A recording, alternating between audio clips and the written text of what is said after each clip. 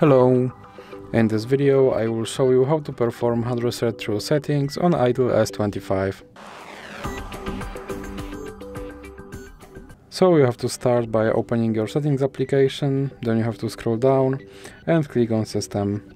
Now click on reset phone and then click on erase all data and click on erase all data again, then confirm by clicking erase all data.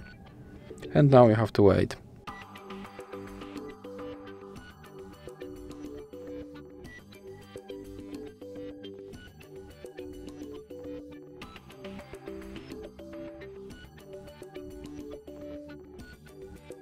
And as you can see, uh, my uh, phone is now back to its factory settings and I have to perform phone setup all over again.